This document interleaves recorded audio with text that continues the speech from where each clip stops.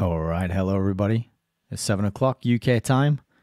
Maybe other times in other places, wherever you are, whenever you are. But hello and welcome to Heys Reviews. This is another live stream. Uh, this is going to be part one of The Romance of the Rothschilds by Ignatius Balla. Um, this is a 1913 book. Uh, it's uh, 110 years old. How about that? And I happened to uh, find a beaten up, messed up copy and uh, online for fairly cheap. And, uh, and I thought it would be a good one to read and read into the record. And so that's what we're going to be doing tonight. We're probably going to read through the first chapter uh, and we're going to see what interesting things we can discover. Hi, everybody. Hello. If you're out there watching live, really, really wonderful to have you here. Uh, if you're not watching live, no problem. It's still wonderful to have you here. If you're watching it live and then rewatching it again at some point in the future, then double wonderful. But uh, either or, anyway, it's really good to have you here. I'm Nick of Heys Reviews, uh, and I'm just um, a book enthusiast, and I'm trying to share that enthusiasm with other people to help people see and realize and learn and know that uh, books are probably at this time in history, even though we have the internet and that's all well and good, still probably the best source of information um, because they are physical. You can store them, and they cannot be edited in real time by evil people who work for the Ministry of Truth. So, today on this live stream, we're going to be reading through. This will be the first video, video one, of uh, our read through of the romance of the Rothschilds. And so I think uh, we might just get through the first chapter today. Uh, but if you're watching live, let me know if you can hear me okay. Thumbs up, maybe, chat in the comment, whatever, all that good stuff. You know what to do. Um, and as we and, and my plan for this is that I'll I'll just read through the first chapter straight up with no commentary and no pauses. Uh, and then if anything pops up for you, uh, if you've got a comment or a question or, or something you want to say, stick it in the comments or in the chat. And then uh, I'll review that at the end of the reading and we can we can take a look and see what people are thinking about what we're going to learn in the romance of the Rothschilds. So take a look at this. What a what a lovely thing we have here. So this is the romance of the Rothschilds, and this is Ignatius Balla. Now I can't find anything about this writer online anywhere else. I've typed the name in, uh, and nothing nothing seems to come up. I didn't spend a lot of time looking, but a very cursory sort of initial glance uh, to find what else they might have done. Uh, I couldn't find anything. So I think Ignatius is a man, and you know, 110 years ago, chances are it was a man writing this. But we can see on the front here we have this uh, nice little crest, which is a red shield, which of course is where Roth shield, Rothschild, red shield, that's where the name comes from, right? So take a look at this. What an old beaten up battered book this is. It's still got a it's got a, it used to be in a library, so it's got stickers to code it, say where it is. It's even got some sort of chalk writing added to it, maybe from a, the library it was in before this. If we have a look inside, uh, oh, that's a bit overexposed, isn't it? One second, let me adjust that. We can see the, uh, yeah, it's Arbroath Public Library. And uh, on the inside page here, we can see it was checked out not that many times. So, not many people uh, in this particular area, I guess maybe Scotland, Arbroath, Angus. It says Angus Libraries up here, and that's, that's definitely Scotland, right? not many people taking an interest. Uh, 48, 49, 1950, and 1963. So it's, it's despite how it looks, uh, it doesn't seem to have been very well read. At least not while it was part of the Arbroath Public Library collection. But a few details that are nice to point out here on the top, as you can see, the uh, the top of the the leaves here have, have this kind of shimmering gold finish to them, which I thought is a nice touch. Uh, but you can tell, uh, you can see at this side, I might be able to put that into uh, focus for you. That uh, is really battered. It is so battered, and all the uh, ends of the um, pages are kind of out of whack, which makes it really difficult to turn the pages and turn the corners. But I think that's why I managed to get it for so cheap because it's in such poor condition. all right, so let's get right into it. This is the romance. Romance. I keep doing that. Uh, when I was when I was practicing and warming up for this video, I kept talking with a lisp, so I'm going to try and avoid that. The Romance of the Rothschilds. Now, uh, one of the things that I really liked about this book, right in here on the first page, we've got uh, a little little illustration here of Nathan Rothschild, and with my uh, handy dandy uh, viewer funded webcam, bookcam. I can zoom in and get you a little bit of a better view on that. Now, it is not an understatement to say, and I think you will agree, that this man truly has a face like a slapped ass. I don't know what the equivalent saying is for, for other places in other countries. Oh, it's not even coming through. Oh, that's sad, isn't it? Maybe if I zoom out a little bit, I'm still getting I'm still getting the hang of this thing. Oh, there we go. That's that's made it look a bit better.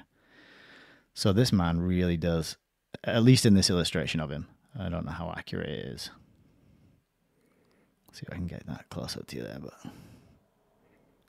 look at that drooping, slapped arse face. So that's Nathan Rothschild. He is going to be uh, figuring quite uh, prominently, I would think, in this story. Uh, he's the founder of the English House of Rothschild. Uh, so he was one of the sons of, I, I, think, of Mayer Rothschild, who was sent out to establish a central bank. And he was sent out to England and he established a central bank here in London. So let's have a look. Page one, well, not even page one, just the title page. We got The Romance of the Rothschilds by Ignatius Balla, London, 1913. 1913.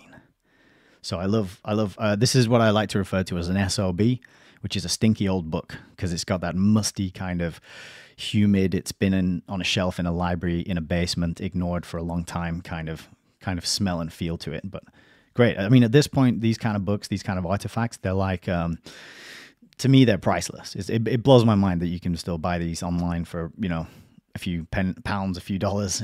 Incredible. But these are these are becoming, uh, I think, more like antiques, more like priceless and precious artifacts from a, a pre-internet age. Anyway, that's enough preamble. So in this book, we got uh, just seven chapters.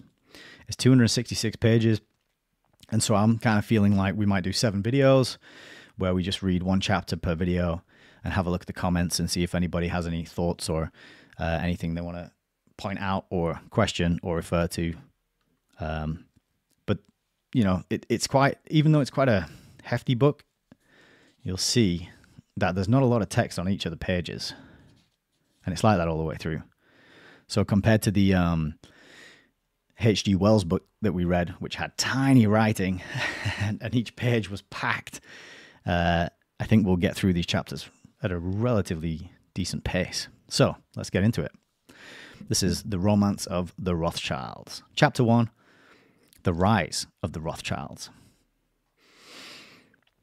The Rothschilds, who have held in their hands for more than a century the threads of the financial life of the old world, were described by Heine many decades ago as the first bankers in Europe. Even today, there is not one of the more recent financial dynasties that can boast a wealth equal to that of the famous Jewish financiers. The mere mention of their name suggests the power of millions, and, to those who are ever ready to pay homage to wealth, these descendants of a petty hawker of the Frankfurt ghetto seem to be the very personification of earthly riches. The fabulous success of the Rothschilds seems the more remarkable when we learn that the immediate founder of this powerful dynasty, the aged Mayer Amschel, was, little over a hundred years ago, a small trader in the Jewish quarter of Frankfurt, and cannot have had even a dream of the millions which his family afterwards amassed. He began his career as a modest shopkeeper. His sons became millionaires, his grandsons multi-millionaires. Three generations sufficed to convert this obscure ghetto family into the greatest financial power in the world. That fact is enough of itself to invest the origin of the Rothschild firm with the significance of an historical event. Nor is the interest lessened when we realize the profound influence it has had on the fate of Europe and the whole political and social life of the West. But the conscientious historian who would relate the almost legendary course of their story will find it useless to explore the dusty archives of states and finger the mouldering parchments of heraldic offices in search of earlier traces of the family. There are no documents carrying back the story of the Rothschilds to the Middle Ages, No ancestor of theirs ever sought the laurels of war on the battlefield, and certainly it is related of none that he joined a crusade to rescue the Holy Land from the heathen. We do not find the name of a Rothschild in the illuminated chronicles of the medieval monks, and we should vainly seek their arms in the gaily coloured lists of the ancient knights. No ancestral castle of, their stand, of theirs stands like a falcon's nest above the steep shores of the Rhine or the Danube, threatening the prosperous caravans of the plain. The few indications that we have go to show that the earlier members of the family were all peaceful tradesmen. The founder of the present house was certainly born at Frankfurt on the Main, in the ghetto of which he inaugurated that struggle for life which was destined to have so brilliant an issue. It was a time when the Jewish inhabitants groaned under severe disabilities, yet the quick wicked, the quick-witted, and quiet-tempered Jew never abandoned his race and religion. He struggled against prejudice and toiled for the welfare of his family. He strove to raise himself above the crowd and to place the future of his house on foundations of granite. Work was his nightly motto and for the sake of his wife and children, he worked assiduously from early morning until night, when the civic authorities fastened with heavy chains and locks the doors which confined Meyer Amschel and his co religionists in their narrow ghetto.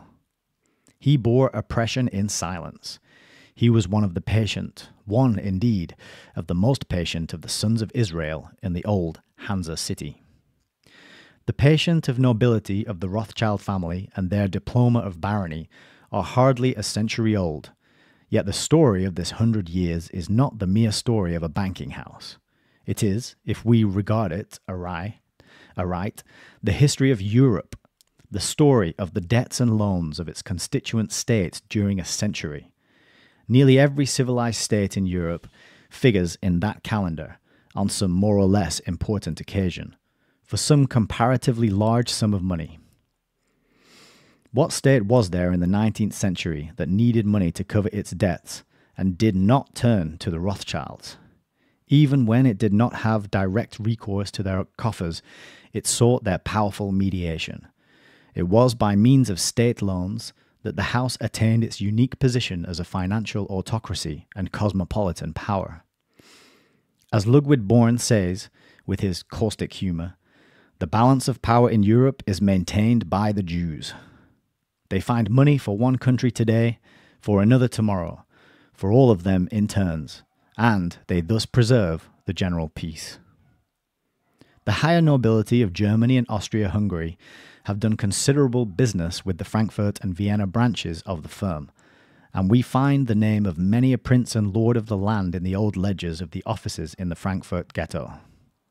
The following list of nobles to whom money was advanced by the Rothschilds during the sixth decade of the last century will give some idea of the extent of their operations. Prince Isenburg Birstein, Prince Sayn Wittgenstein Berleburg, Prince Waldburg Zeil, Count Alexander Slasvanitja, Ritter von Reis, Prince Isenburg Wächtersbach, Prince Solmslick, Prince Lowenstein Wertheim, Prince Lowenstein Rosenberg, Prince Victor Eisenberg, Count Vixey, Count Szapáry, Count Leiningen Westerburg, Count Nixky, Count Hunyadi, Count Széchenyi, Count Henckel v. Donnersmarck, Count Froberg, Prince Galantha Esterhazy, Baron von Greiffenclau, Prince Schwarzenberg, Prince Waldburg Wolfegg, Prince Waldsee, Count Wartenberg, Prince Wied. The Rothschilds, however, never cared for loans to private individuals. If there was a question of a loan, let it be to a state, was their motto. It would be extremely difficult to calculate how much profit they made by these loans to princes and states. They were never content in those days with the mere interest on the capital they advanced. But they also engaged in very extensive speculation on change with the stock which a state issued on the strength of their operations. By this means, the firm became a financial power of the first magnitude and we may recognize one of the chief foundations of their success in the action of Meyer Amschel when he sent his five sons to open banks in five important cities. The third son, Nathan, captured London and England, while his younger brother James ruled at Paris. The fourth son became the financial prince of Italy.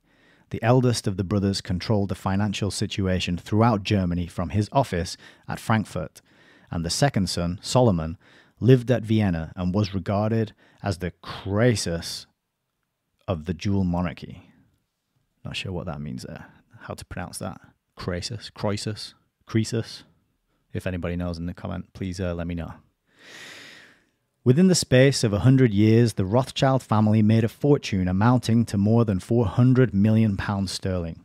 Amongst the many contemporaries who endeavored to penetrate the secret of this marvelous success was the distinguished diplomatist and friend of Prince Metternich, Friedrich von Gentz, who wrote as follows The question how the Rothschild house could do all that it has done in so short a time has assuredly occupied the attention of many a businessman and politician. Possibly, however, it is not so difficult to give an answer as is generally believed. Anyone who disregards chance gains and realizes that in all large operations success depends not only on seizing and using the fa- favorable moment, but still more on a strict adhesion to certain fundamental principles, will easily see that there were two maxims in particular of which this house never lost sight, and to which, apart from its shrewd conduct of business and taking advantage of favourable opportunities, it owes a, the greater part of its actual prosperity. The first of these principles was the determination of the five brothers to conduct the whole of their business in constant cooperation. That was the dying command of their father. If they had prospered, it is because they have been absolutely faithful to this rule. After the death of the father, every offer, no matter whence it came, was discussed by them collectively. Every operation of the least importance was carried out according to an agreed plan, and by their joint exertions, and they all shared equally in the profit. No matter how great the distance was between their centres Frankfurt, Vienna, London, Paris, and Naples it never interfered with their common understanding. In fact, it had the additional advantage that each of them could be perfectly acquainted with the situation in his own part of Europe and assist more effectively in carrying out the business undertaken by the whole house. The other principle they kept in mind was not to strain after an excessive profit in any operation, to impose definite limits on all they undertook, and, as far as human foresight and prudence could achieve it, leave nothing to chance. This maxim, servare modum finemque tenere, be moderate and never lose sight of the goal, is one of the chief secrets of their strength. There is no doubt that with the resources at their disposal, they might have obtained a much greater advantage in one or other operation. But even supposing that it would not have affected the security of their operations, they would in the end have made less profit than they did by distributing their forces over a large number of operations which occurred repeatedly and in varied conditions. That there should be no lack of such opportunities, they were assured, not only by their wealth and credit, but by the confidence which they had inspired in all governments and large houses by the moderation of their charges, the punctuality of their deliverances, the simplicity and clearness of their plans, and the intelligent way in which they carried them out. The success which others sought in the field of commerce or of war by masterstrokes, which often led to defeat instead of victory, was attained by them through the happy application of the best principles of mercantile strategy. Not by audacity, but by prudence and perseverance. The personal or moral character of the five brothers has no slight influence on the success of their undertakings.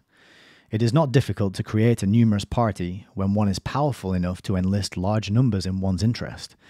But to bring into agreement the voices of all parties and win the regard of all, one needs not only material resources, but also certain qualities of character which are not always associated with power and wealth. To do good to those about them, to refuse a helping hand to none in distress, to hasten to the relief of everyone who sought it, no matter to what class he belonged, and to give a pleasant form to the most material services. These ways of attaining a sincere and deserved popularity have, as thousands can testify, been followed by all the members of the family, not out of calculation, but out of their natural humanity and benevolence. They have attained one thing that few favourites of fortune attain they have won a host of friends without making a host of enemies. It might be said, in all truth, that they have paralyzed the tongue of jealousy and malice. In such circumstances, they needed no external distinctions to adorn a position that was already so distinguished in itself. Their merits, however, have been publicly recognized by several courts. Besides various decorations which have been conferred on them, all the brothers were made commercial privy councillors of the Kingdom of Prussia in 1818 and financial councillors of the Hesse court in 1815. His Majesty Francis of Austria gave them an hereditary title in 1815, and in 1822 he raised them to the position of Austrian barons.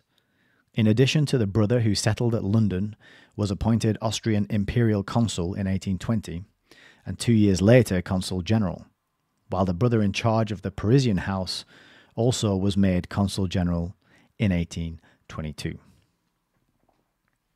Thus does Gentz speak of the children of the Frankfurt ghetto, but he is mistaken in regard to the dis- distinctions conferred on them. It was not in 1815 that they received the title of nobility from the Austrian government. The elder brothers Anselm and Solomon were ennobled by a decree of September the 25th, 1816, and the younger brothers Carl and James on October the 21st of the same year. It is strange to find that the third brother, Nathan, who already dominated the exchange at London, was passed over in this nomination. When there was question of giving a title to the four brothers, they tried to design a coat of arms which would reflect their financial position and great success. They thought of combining the, the arms of Hesse, England, and Austria, and adding a five fingered hand as a symbol of their unity and cohesion. It was also intended to include a hound as a figure of fidelity and a stork as a symbol of piety and prosperity. However, the actual Rothschild arms, which was sanctioned by the Austrian government on March the 25th, 1817, only contains a part of these things. Six years later, not seven as Gentz says, on September 29, 1822, they were created barons, an imperial favour which was extended to Nathan also. On this occasion, they adopted a fresh coat of arms, the motto of which consists of the three Latin words Concordia, Integritas, Industria. Concord, integrity, industry. The Rothschilds did not at this time owe their power to money only, as their fortune was not yet large enough to enable them to compete with and defeat bankers with a larger capital. To reach this stage, they needed the quality which we find in Nathan, who obtained an unlimited control of the exchange by colossal operations on it. In their efforts to obtain power, we find not only the three qualities which are indicated in the above motto, but a very remarkable cooperation on the part of the five brothers and a considerable faculty for grasping favourable opportunities at once and utilising them with great energy. Further, their fortune was not due merely to the state loans which they negotiated, but to their traffic on a large scale with every kind of stock on all the exchanges of, of the Western Hemisphere. In this way, they obtained an insight into the economic and political conditions of every land, were enabled to make a shrewd calculation of the chances of war breaking out, and, according to the aspect of the political horizon, either to buy up or throw all their holdings on the market. The man who is unfamiliar with financial matters will be inclined to suppose that in their operations the Rothschilds spun a particularly complicated net of plans and needed very elaborate arrangements. He will imagine that this machinery, working in all directions and turning everything into money by means of its secret structure, could only be created by the intense speculative power of particularly gifted men like the Rothschild brothers. The facts are otherwise, however, and if we withdraw the veil from the action, not only of the Rothschilds, but the financial world generally, anyone can understand how much speculation on change has contributed to the accumulation of the enormous fortune of the house. An example will show this more clearly. The founders of the business negotiated with a certain state a loan of so many millions, consisting of shares of a hundred florins each. The shares were handed over to them at 96 florins, and they sold them at 130.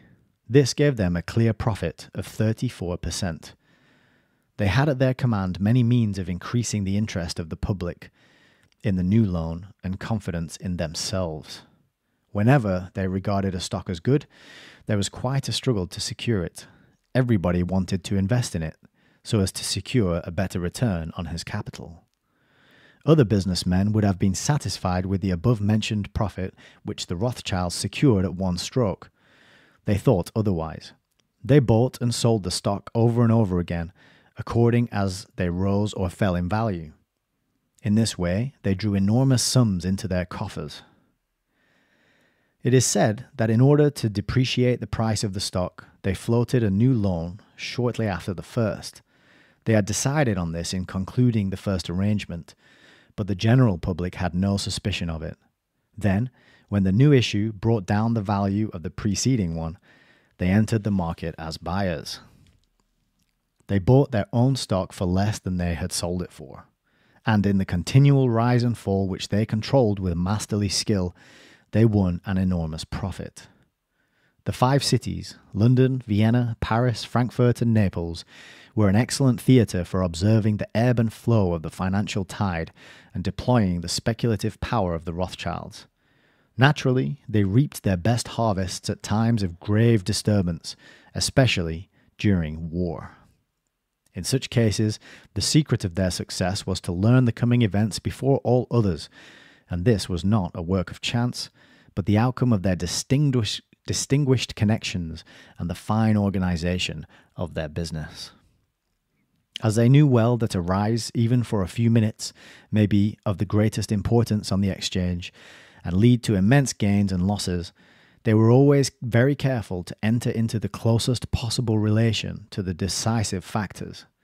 They therefore succeeded in drawing into their sphere of interest distinguished politicians and men of high social standing so that they could learn important events before others. That was a very considerable aid, especially at a time when the postal service was imperfect and there was no telegraph or telephone. They attached the greatest importance to receiving information from high sources, and from this end, they made influential acquaintances at the courts of the chief ruling families. In this, as in their willingness to make sacrifices, they showed a quite remarkable knowledge of men. We cannot regard that either as a merit or a defect. It merely we cannot regard that either as a merit or a defect. It merely shows the great power of adaptation that circumstances had engendered in them. The high officials whom they pressed into the service of their plans were, for the sake of their families, quite ready to turn their confidential knowledge into coin. It was quite in keeping with the moral notions of the time. If the Rothschilds had not made use of such means, their rivals would have done so. Public opinion was indifferent to such things. What people thought of them at the time may be seen in the case of Gentz, who quietly and with the greatest complacency notes in his diary the sums that he received from the Rothschilds for such services. They were shrewd enough to know that in financial matters we have not to deal with supernatural beings, but mortals whose God is gold. They thought no sacrifice too great to attain this end. Immense sums were paid for information, but they brought a considerable interest. Secretaries of state, ministers, ambassadors, and the most intimate servants of princes vied with each other to give the Rothschilds the first news. The outbreak of the July Revolution in Paris, for, for instance, in the year 1830, was learned by Baron Nathan Rothschild before anybody else in England, and it was he who informed the English government. At Vienna, their chief informant was Baron Gentz. He never speculated on the exchange himself, but he won considerable sums which the Rothschilds did not grudge because he enabled them to make vastly larger sums. Baron Solomon deplores the death of Gentz in the following words in a private letter to his brother James at Paris. He was like a friend he was a friend indeed. I shall never have another like him. He has cost me large sums of money. No one would believe how much, for he merely wrote on a piece of paper what he wanted, and he had it at once. But since his disappearance, I begin to see how much we have lost, and I would give three times as much if I could bring him to life again. By the organization of state loans, shrewd moves on the exchange, and their excellent supplies of information, the children of the ghetto at length attained the position of which a writer of the time said, There is only one power in Europe, and that is Rothschild. His satellites are a dozen other bankers, his soldiers are all decent merchants and workers, his sword is speculation. Rothschild is a result that was bound to come. If it were not Rothschild, it would be another. He is, however, by no means a chance result, but an inevitable outcome of the state principles which have ruled Europe since 1813. Rothschild needed the state in order to become Rothschild, and the states of Europe needed a Rothschild. Now that he has become what he is, he needs the state no longer. The state needs him. A writer in the Augsburger Allgemeine Zeitung says The remarkable position of the Rothschild family is one of the most extraordinary phenomena of our eventful age. In the 16th century, when German commerce was still in its infancy, the Fuggers succeeded in securing wealth and fame and the title of Count by the great services they rendered and loans they made to the Emperor Maximilian. The only other instance of this kind in history is that of the Rothschilds.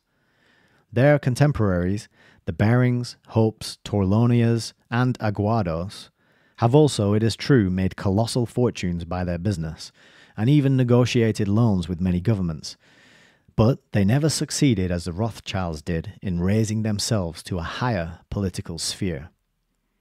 While the circumstances of the time were favorable to them, we must recognize that they turned them to advantage with rare ability, and so attained the remarkable position as leading financial power, which enables them to exert so powerful an influence. In the course of 28 years, the House of the Rothschilds has, in the many loans which it has made to England, Austria, France, Prussia, Russia, Naples, Denmark, Belgium, and most of the princes of the German Confederation, paid hundreds of millions to these states with remarkable promptitude and often at a time of grave political crisis, and has in this way proved the strength of its resources. Yet all who had a share in these transactions saw their speculations always crowned with success, and the general confidence in the Rothschilds was unlimited. When in recent years the speculative spirit turned to industrial concerns and railways became a need of the continent, they again took the initiative and put themselves at the head of the movement. The Versailles Railway on the right bank of the Seine is their creation, and in Austria they gave the first impetus to undertakings of this nature by constructing the Great Northern Railway. Wherever a really national work was to be undertaken, one could rely on the cooperation of their capital.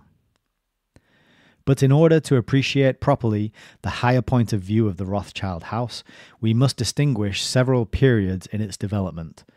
The first began in the year 1815 and lasted about 10 years.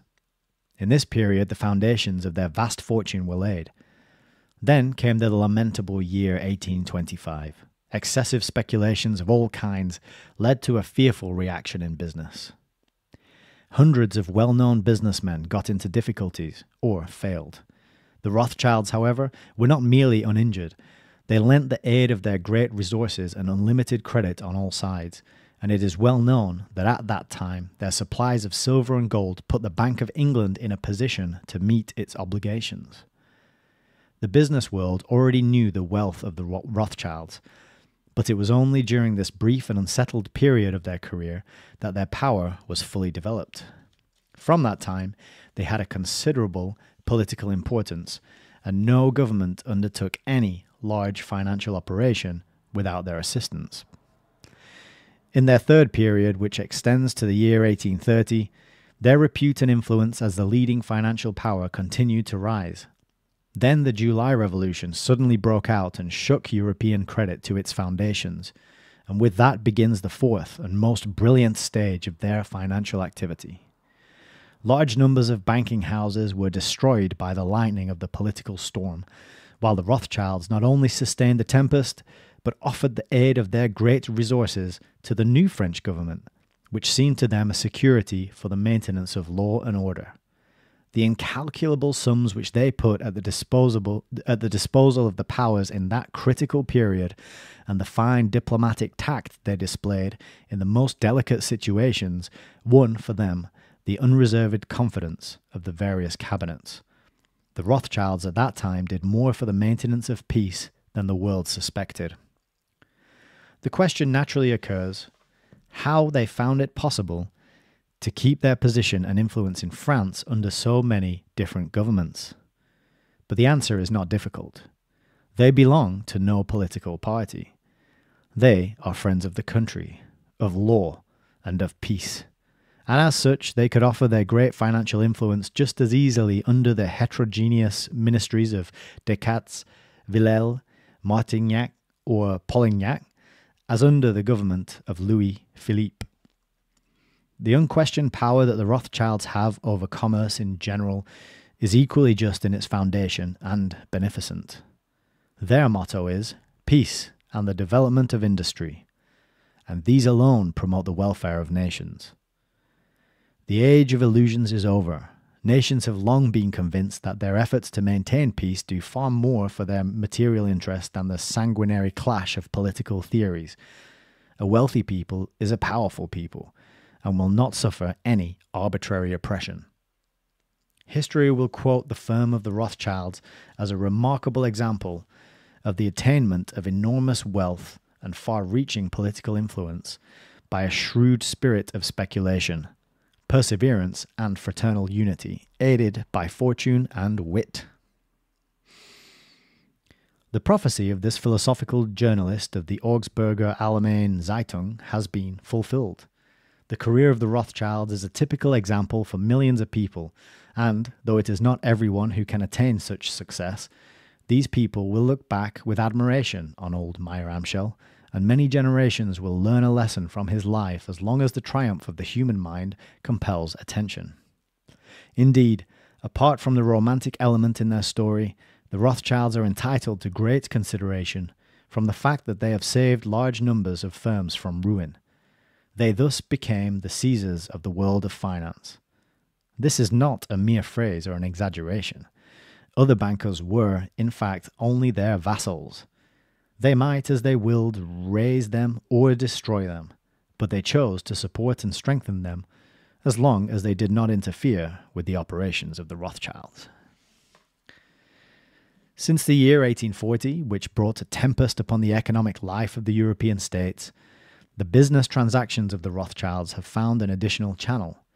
They turned to the increasing branches of industry, railways, mines, ironworks, etc., and founded banks, and thus found a means of making fresh and hitherto unexploited wealth. They retained their dominant position in the financial world as the magical power of their name was enhanced. They were now the unquestionable masters, not only of the exchange, but of trade and commerce. Numbers of prosperous banks and industries sprang up at their command, and they became owners of mines, mills, factories, and estates in every part of the world. The actual power of the Rothschilds cannot be compared with that of the five brothers in earlier days, though their fortune is larger than ever. This is due, however, not to a depreciation of ability in their descendants, but to a change of circumstances, the financial position of the various states in Europe has so immeasurably improved during the last hundred years that they no longer need an intermediary in contracting loans. Rival banks have also done their share in bringing to a close the supremacy of the Rothschilds. But if their autocracy in the money world is ended, their vast fortune remains and surpasses that of any of the American millionaires. Neither Rockefeller, nor Carnegie, nor Astor, nor any other transatlantic prince of finance has a capital equal to that of the Rothschilds. It is estimated at more than 400 million sterling and increases daily. It would be bound to increase even if they never engaged in another transaction, as, invested at an interest of not more than 4%, their capital would yield more than 16 million pounds yearly or more than 45,000 pounds a day. The mind almost reels in considering these colossal sums. Baron Albert of Vienna said was guilty of no exaggeration when he said, "The house of the Rothschilds is so rich that it cannot do bad business." And this enormous fortune has been amassed by one family in the course of a single century. C- century. I just said cent- centuary. sanctuary. Sorry, sometimes reading these things live, you get nervous and fumble your words a little bit. All right, that's chapter one, Romance of the Rothschilds. I'm just going to have a look now over here at the uh, chat, just to see if we've what what what people are up to and what's going on, and uh, see what's happening. So, 13 people watching. Hi to everybody who's watching. That's really really lovely to have you here. Oh, nice. We got some action in the chat. That's cool. Hey, we got Nigel in the house. What's up, Nigel? Yeah, I have. I've got a document cam. Um, I wonder if I can spin this around to. It's, it's you can kind of see it here, right? This this this white thing popping out over. It's by Okio Labs, um, and, I, and I was able to buy this through a generous generous donation of a viewer. Uh, and yeah, it's it's great. It's I'm really loving using it. I'm still getting used to it. I'm still not kind of smooth with it just yet. Um, Adam, oh nice. Yeah, Nathan Rothschild looks like he ate all the pies. Yeah, he might have some, uh, I don't know, some heartburn. Maybe that's why his face was looking, why he had a big bottom lip sticking out. Uh, you know, he, he didn't look happy. Dr. Crispy Rothschild, hello. Uh, and off topic, where did I get my glasses from? Uh, from a company called True Dark, and these these uh, really help me um, protect my eyes from the blue light in, in screens and, and LED lights, uh, which can interfere with melatonin production and, and, and bugger up your ability to get to sleep. Uh, so yeah, I really recommend. But there's loads of different brands out there now. I've had these for oh, six or seven years or something. Um, but they're they're pretty popular these days, and you can hunt around, shop around, and find discount codes and whatnot. Um, but but I really recommend them because they're putting LED lights everywhere now, right? In the street lamps and shopping shops, and it's it's kind of strange. And that incandescent, soft yellow glow we used to have, uh, which is much nicer, um, that's been replaced by this bright, clinical, surgical white LED. And I think there's reasons for that. Um, and but it interferes with me. And I, and when I don't have these on, it makes my eyes kind of ache, and I can feel the difference. And I get like, oh, so so I got to make sure I wear these in the evening. Um, all day counts, government bonds, King Cross, King Crosses, all he touched turned to gold. And they always used insider training. Yeah, Nigel, exactly. They, they must have been using insider trading, right? This this network. It was saying here that they profited during times of war. Uh, so I imagine they would have been pulling at those levers and and manipulating people and dropping hints and and and kind of stirring things up because if you profit from times of conflict and and then you're gonna you're gonna want more of that to happen you know uh, i think one thing we forget quite often when thinking about business models is that a lot of businesses if their product or service actually worked they'd be they'd be putting themselves out of business and so you've got to take you've got to question um, their motivation you know a classic example uh, I don't know. I, I like a, an example I think of it might be like some sort, sort of spot cream or something that teenagers wear, you know, acne. It's like if it worked, you'd use it once and then your problem would be solved and you'd never buy it again. So you so from a business point of view, that's bad business because a customer cured is a customer lost, right? And I think that applies to a lot of uh, industry and, business these days. Yeah, so the first chapter showed that they brought political influence that allowed them to I can't see what that word is to something the markets. I'm going to guess it says rig. Yeah, rig or manipulate the markets. Yeah, exactly, exactly, spot on. So, romance of the Rothschilds. and uh, I love the quotes, really lengthy, long quotes that you picked out from other places, and some of them so adoring and so gushing about this family. Um, and I'm sure that that was warranted, but I don't know. Well, we're gonna have to read on to find out. Um, that chapter also said that the brothers operated like a cartel to again rig markets. Yes, yeah, Nigel, right on. This is great. I really, I'm really glad you're here, Nigel.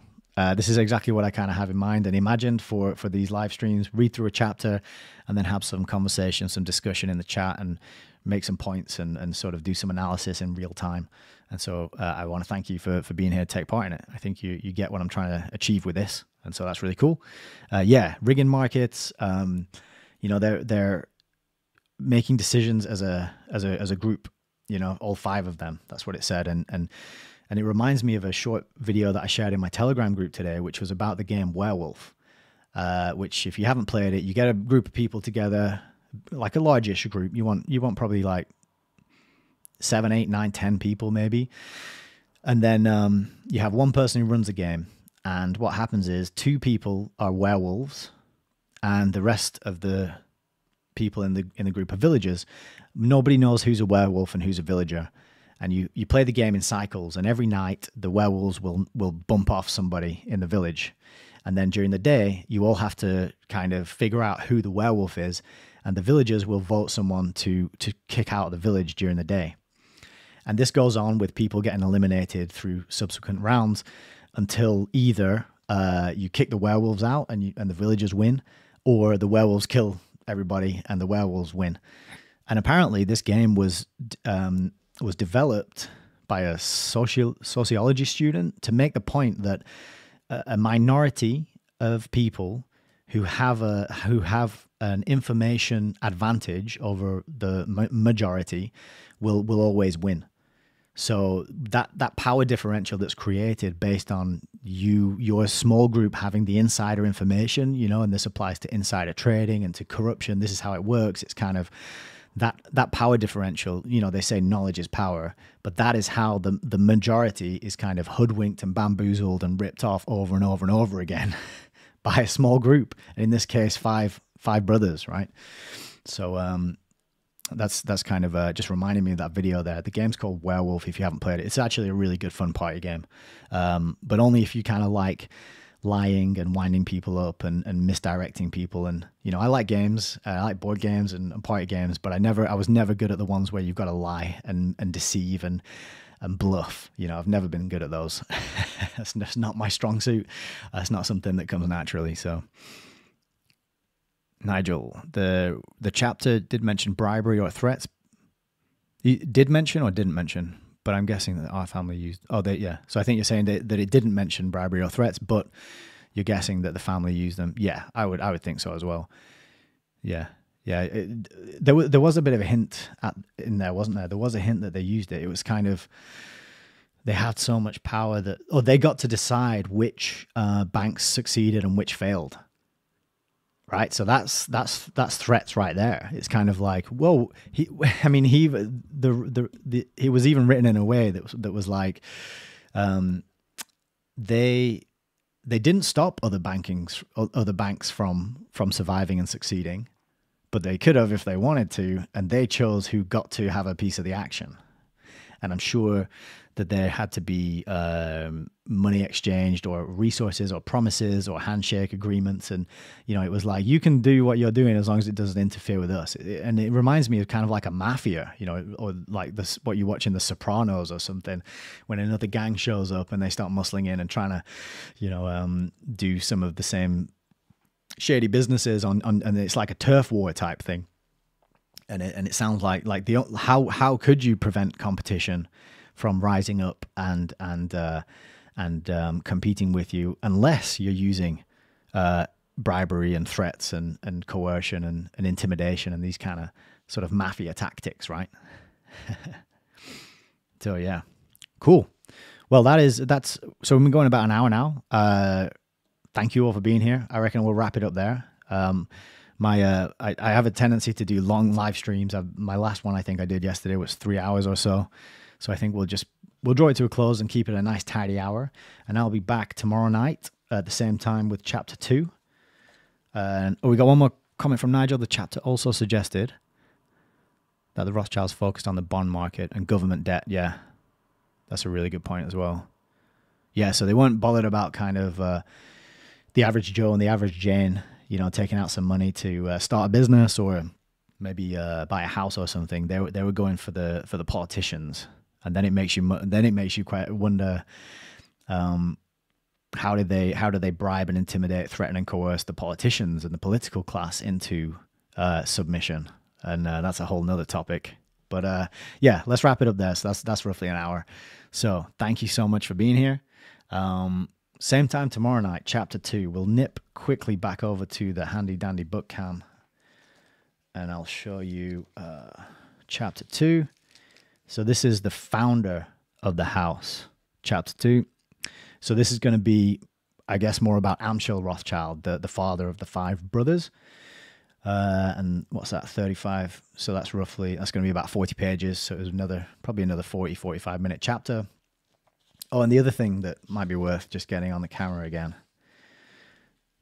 is this this table of all the princes and all the all the uh, counts and all the, the amounts. I didn't read the numbers, you know, the amounts that uh, he that they were loaning and giving to these people. I just read the names, and some of these names, I I I, I should apologize to anybody with those names because I no doubt butchered them.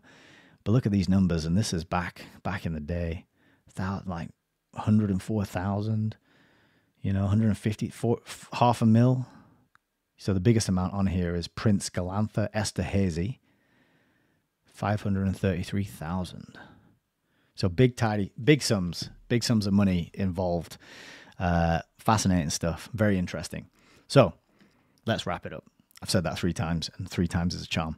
Uh, thanks, everybody. Uh, seven o'clock, Greenwich Mean Time, UK time. Uh, tomorrow, chapter two.